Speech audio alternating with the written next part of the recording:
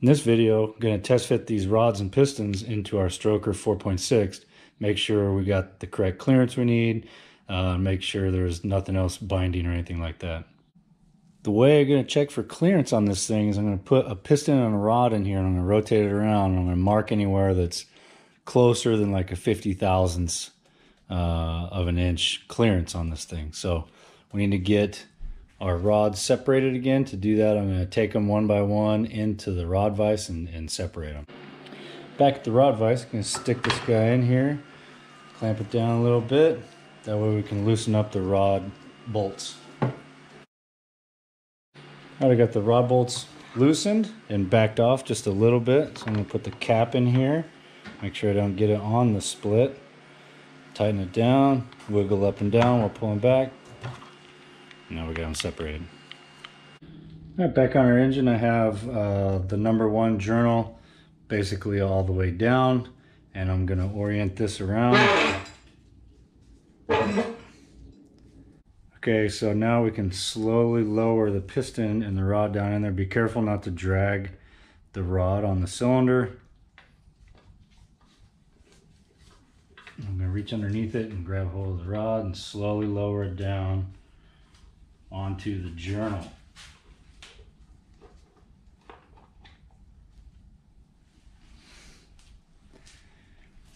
Holding the piston, rotate it around. So one thing I just noticed with these um, is so these are, are narrowed or they're offset just a little bit. And if you can, if you look really close, there's a little bit of overhang of the machine surface of the cap uh, on this side and there's not on this side, meaning the bearing is a little bit shifted this way or it's narrowed on this edge right here. And if we put the rods in the way that I have them oriented now, uh, this side is going to be up against the fillet of the uh, crankshaft. So it may cause an issue to where that is not enough clearance because I know that these crankshafts on the on the uh, Manley have a, have a big fillet and so I may need to switch these rods around so that this side is up against the fillet uh, and, it, and it, it, allows that to spin. So I'm going to put, I'm to continue putting this on. I'm also going to put number five on there, snug them down and see if it turns. Uh, it may not, it, it, may not, and I may have to just rotate these uh, rods around. And now put our cap on there. We're going to go serial number to serial number.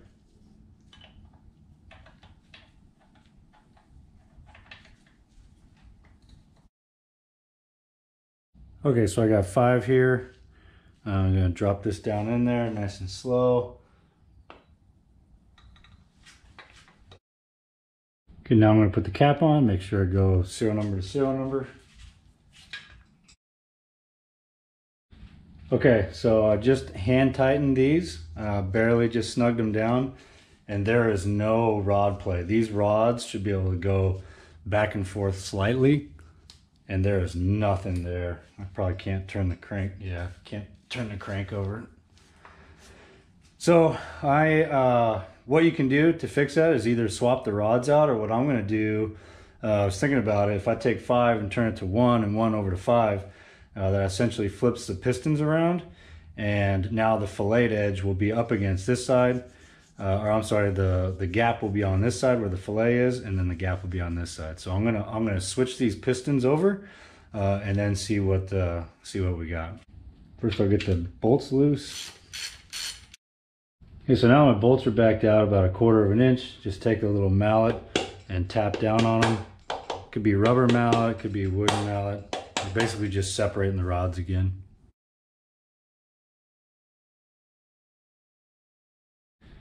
Okay, so this is way better, I can already tell. So I got these snugged down. I got all four of them snugged down just a little bit here. And you can see the, the rods, the end play, it's moving. Like you can wiggle them back and forth.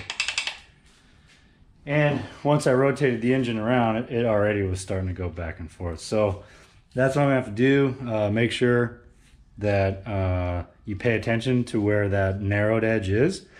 And if you're using a stroker crank, uh, the fillet is this area right here. That's the rounded edge of it. And if you're gonna run something like this, you have to have a, like a narrowed bearing. uh, to where the, or an offset to where it's going to be up against that fillet. Otherwise, you just saw if you get these backwards, that uh, straight edge will dig into it. And when you tighten them down, it's just, it's not going to rotate. So uh, all number five through eight is now going to become one through four. Number one through four is now going to become five through eight. Doesn't matter the placement of them, everything is balanced, so uh, should be no issue. Now inside the engine right here, if you see that rod bolt right there and see how it's right up against the, the bottom of the cylinder, as I rotate it around, it gets very, very close. That is too close. So I'm going to take a paint pen and mark that so I know when I pull this all back apart, I know where to grind on it. Here, so now that it's marked, you can see where I'm talking about. That's the area that's going to get ground out.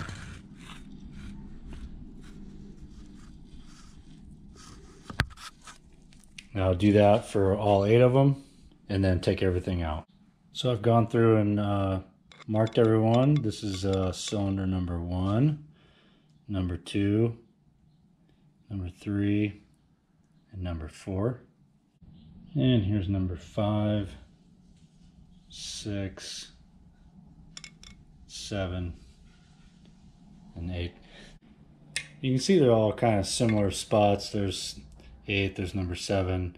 Uh, so once you go through, they should all look kind of similar in in the same spot. Need about the same material taken off. I also went through and remarked the rods. So there's number two, three, four, five, six, seven, eight. And now if you look at them, one through four, the Manley uh, is up. All the pistons, the arrows are facing up. But now it's flip-flop. So now one, two, three, four, the Manley emblem is up. And five, six, seven, eight, the Manley emblem is down. So I'm kind of glad this happened so that uh, I get a chance to talk about the bearings and how they are inside there.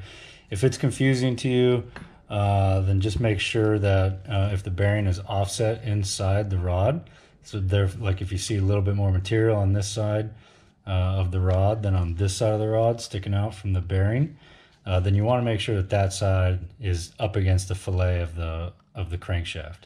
Sometimes that's actually tapered too, or if you get too long of bearings, you may have to taper these out. A machine shop can do that. Takk.